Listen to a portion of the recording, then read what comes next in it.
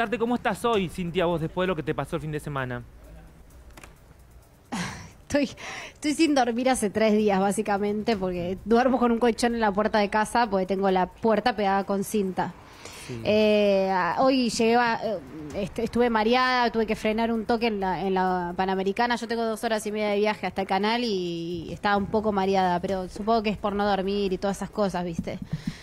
Contame una cosa así. ¿Viste, ¿viste a, tus vecinos? Digo, ahora hay como denuncias cruzadas, hay diferentes.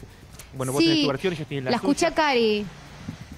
La escuché, Cari. Igual yo nunca denuncié música fuerte. Me parece que, que deberían probarlo eso porque es tan fácil como nada, debería haber un mensaje mío hacia la guardia eh, pidiéndole que acudan por la música fuerte. A ver, soy una mina joven, no me molesta, mi casa es muy grande, cuando, cuando en un lugar hay música me puedo ir al, otro costado. De hecho, tenía un vecino eh, que estaba inquilino en la casa al lado, muy copado, eh, que cuando iba, hacía fiestas me decía, che, te aviso por las nenas que voy a hacer una fiesta. Le dije, relájate, si estas no, estas seguro te piden que le inviten a la fiesta.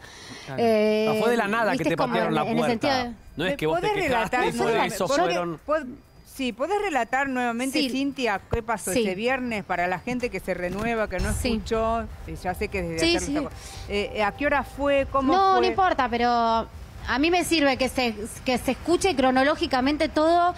De hecho, ustedes tienen los videos y me pueden acompañar con eso, estaría buenísimo porque tengo de, de, todo, ¿viste? Mm. Eh, a las 23.40 yo escucho ruidos, ¿viste?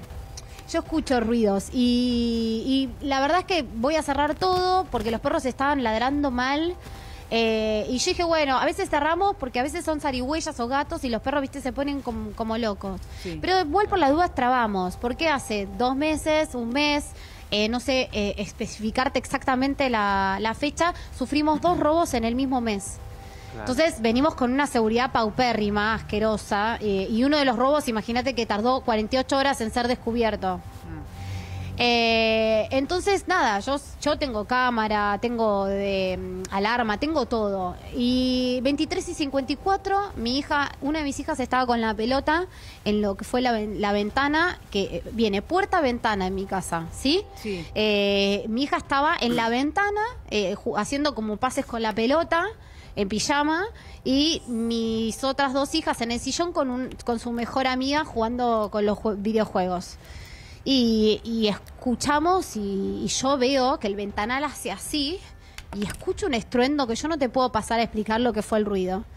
La que estaba, o sea, atrás del abajo del ventanal, que se pudo haber muerto si se le cae esa ventana, porque de hecho la, después la pared quedó rajada porque es de Durlock, mm. del semejante patadón que le dio sale corriendo y dice, nos están robando, ahí hay atrás de la puerta, nos van a matar. Y fue un griterío. A partir de ahí fue grito, llanto. Yo como un, como, a ver, como un caos que no podía resolverlo. ¿Y vos qué hiciste en ese momento, ¿qué hago? ¿Para dónde salgo corriendo? Claro. Me voy a la ventana lateral para ver si veo a alguien eh, de una de las baguleras. No veo a nadie. Y a ver, eh, tardo en caer en que yo tengo cámaras. Entonces digo, la cámara, agarro el celular y cuando veo el celular veo a cuatro tipos vestidos de negros, altos, el video que tienen ustedes, y uno de ellos viene corriendo y le propina una patada a la puerta. Y ahí yo entiendo que me quisieron robar, claramente. Claro. Imagínate que venimos de, que nos, nos, chorearon, de que la seguridad es una porquería. No, y para que quede claro, eh, Cintia, ese, episodio fue de la nada. Ellos decidieron hacerlo. De la nada. Perfecto. De la nada. por favor. Yo jamás, jamás, jamás me... A, esto, todo esto estaba mi mamá también en la casa que me acompañó a la ventana. Eh, Vos vas a las cámaras. Eh, a, las cero, esto fue 54. Voy a las cámaras y hasta que mando el mensaje es las 001. Mando el mensaje al grupo de vecinos. A las 03 mando el mensaje al grupo de alerta que es específicamente para las emergencias tipo 911 interno que está la Guardia de Seguridad, que tienen que acudir, que se, eh, se creó ese grupo solo para eso, para las emergencias, porque venimos de robo en robo. Mm. Eh, entonces yo lo aviso a las 03. Eh, y ahí agarro el gas pimienta, porque yo iba a salir a buscarlos, pero por una cuestión de que yo no sabía si estaban en el lateral de mi casa. Yo necesitaba proteger a mi familia. Cuando abrimos la puerta con mi mamá, para salir a ver si había alguien, la, cerradura se desploma, se sacan las cinco arandelas, la cerradura y demás. Entonces yo entro como una crisis, a todo esto las nenas gritando y llorando, nos van a matar, nos van a matar, mamá, por favor no salgas. Yo diciéndole, vayan a la habitación, por favor, vayan ya. Bueno, fue como todo un caos muy feo. Y hace dos días uno de mis mejores amigos me había regalado una caja de herramientas, yo no tengo una sola herramienta. Mm. Y le digo, mamá, anda a buscar el destornillador y clavemos la puerta como sea, porque no cerraba. Sí, sí, la chapa quedó para arriba y toda destrozada la ¿Y madera. la seguridad? Yo no cerraba. La seguridad nunca apareció. Cerramos, la clavamos yo a todo esto con el gas porque no sabía si aparecía un tipo y, nos hacían una entradera y que te ayude Dios. Lo único que me consolaba es que había avisado a, los grupos. Sí. Eh, entonces, eh, acomodamos la cerradura y yo le digo, vos quédate acá, agarrá un cuchillo y, lo que sea, por favor, lo hace lo que sea. y en el WhatsApp yo voy a buscar a la guardia. Algo? ¿En ese momento alguno de los vecinos eh, te dijo algo? Estaban diciendo, dale, dale, ¿por qué no van? Dale, ¿por qué no van? ¿Entendés? Sí. Porque yo decía, no vino nadie, no viene nadie. Entonces salgo y ahí tengo un portón aledaño eh, en donde escucho, los escucho. Primero reviso los laterales, los escucho que dicen, vamos a seguir pateando, guacho, vamos a seguir pateando. Sí. Entonces yo sabía, y por eso es la razón por la que yo voy ahí, a ese terreno donde ellos estaban, ¿entendés? Ah. Que ahí fue cuando vos entraste. porque ella, la, señora dijo que vos entraste por una fiesta. Ah, claro. No, no, no, no, no entré por atrás, ¿eh? No, ah. no, no, no entré por atrás porque aparte de la cámara de seguridad de mi casa eh, figuraría y las pongo a disposición y yo no entré por atrás. ese portón, ellos lo saltan. A esas personas sin que crees que son las mismas. No las veo. Ah, escuchás nada más. Las escucho. Ok. Yo las escucho.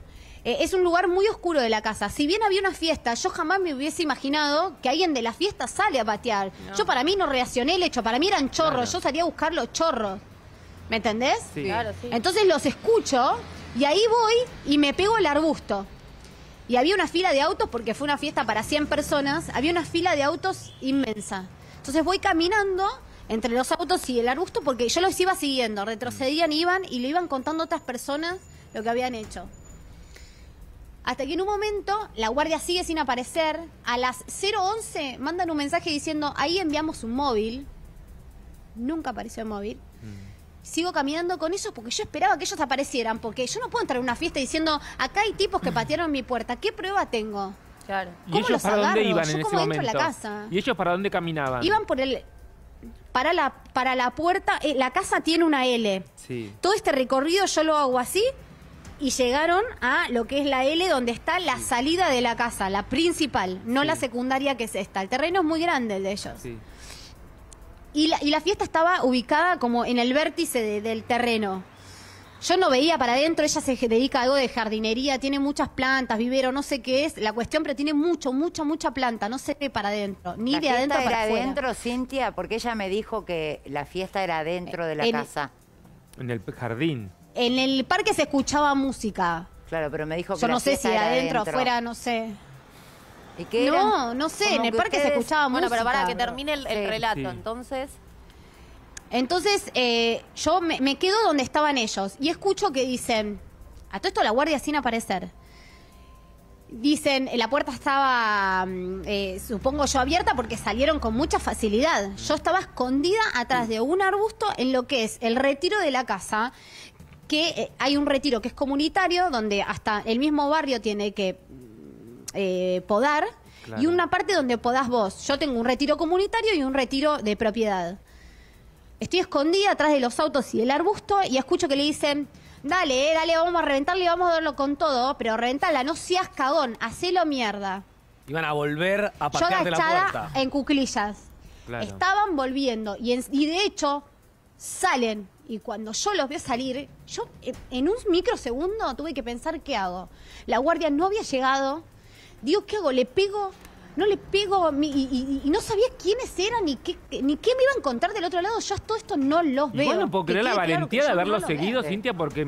Una locura. Seguirlo, claro, es que un peligro. Yo estaba desesperada. Ahora sí, lo que, no entiendo... yo estaba desencajada.